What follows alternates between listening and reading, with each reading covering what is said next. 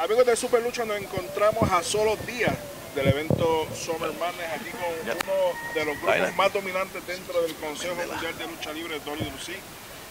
El más dominante, eh, por favor, corrígelo. De Exacto. Gilbert, este próximo... The Precious One Gilbert, ya lleva dos strikes. A la tercera nos vamos. Sí. A solo días de Summer Madness te vas a estar enfrentando a un ex miembro de Dynasty, Eddie Colón, regresa en busca de venganza a Summer Madness. Pues yo no sé qué tipo de venganza va a estar buscando Eddie la Maravilla Colón.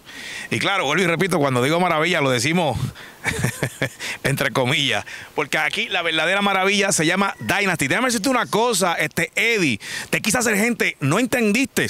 Te quise poner, te, iba a poner un sitial bien grande en la lucha libre y quisiste, tiraste, no mi amistad, mi hermandad la tiraste a la basura. Pero claro, lo que pasa es que tú parece que te acostumbraste a hacer el cargamaleta de tu hermano Carlitos Caribbean Cool. Vas a seguir siendo la sombra de tu padre, Carlos Colón.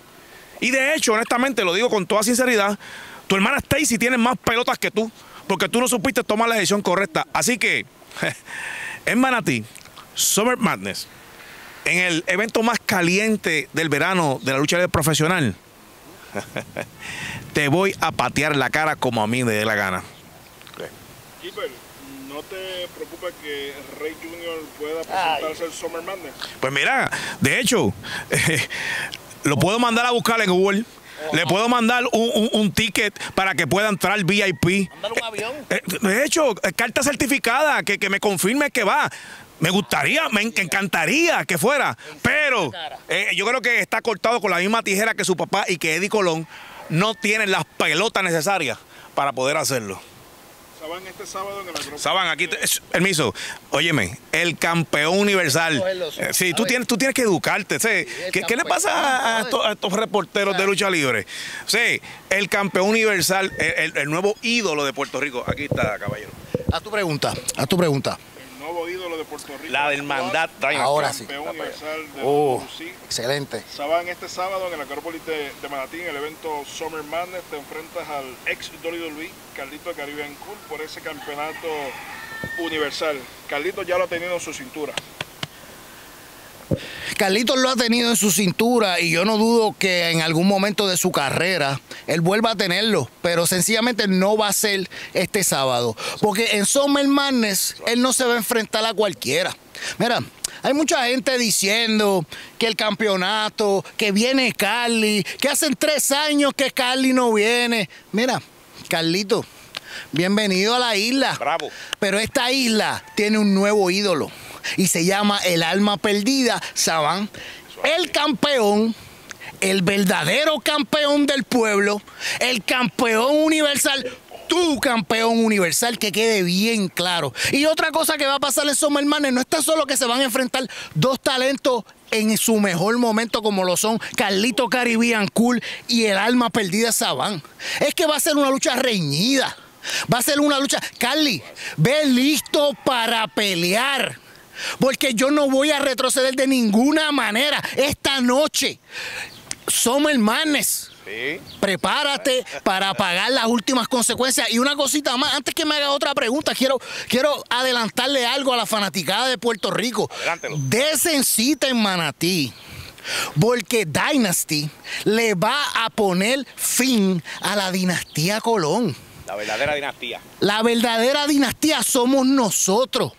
The Precious One Gilbert, la seguridad del campeón, el alma perdida, la bestia Nian. ¿Quién va a poder con nosotros? Nadie. Y, nobody. Nobody. y otra cosita es, por eso estoy vestido de negro, porque en ese día, Summer Madness, es la última vez que ustedes van a ver a los Colón en todo su esplendor, porque después que Gilbert termine con Eddie y yo te garantizo que termino con Carlito, no va a haber Colón que se atreva a meterle mano a Dynasty. Saban, de Carlitos no lograr esa victoria por el campeonato universal, Six Saban estaría dispuesto a dar una revancha por el campeonato universal a Rey González o a Rey Phoenix. Oh, oh mira. esto es un tema personal, porque yo siempre he respetado a Rey Fili como luchador. Yo siempre he respetado a Rey González como luchador. Y como yo he dicho en varias entrevistas, la última lucha que yo tuve con Rey puede haber sido su última. Pero yo debo admitir también que a él le queda algo, le queda algo, porque ese primer puño que me dio, y que creo que fue el único, yo lo sentí. O sea que yo sé que hay algo ahí, pero si Rey González se atreve a ponerse las botas y quiere llegar a retar por el Universal, bienvenido, porque vas a ser otro nombre en la lista de tu campeón universal. y parte también de Dynasty, la bestia va a estar enfrentándose a Carlos Calderón. Déjame decirte una cosa, Carlos Calderón. Eh, Nian, exprésele al pueblo de Puerto Rico ¿Qué es lo que le va a pasar a Carlos Calderón? Calderón y el pueblo de Puerto Rico, porque los dos me dan asco. Quedaste mal y no hay nada peor que un hombre sin palabras. Dijiste que me ibas a tumbar y aquí estoy. Si te pateé el buche y te pateé como la cucaracha que tú eres en una lucha normal, ¿qué tú crees que va a pasar? En una lucha callejera. ¿Qué tú crees que va a pasar? palabras con luz. Así que lo único que falta es que suene la campana. Lo esperamos a todos en Summer Madness porque Dynasty. De hecho, miren, miren, miren. Esto es una hermandad. Hermandad. Va a llevarse todas las victorias necesarias de una manera que no es fácil.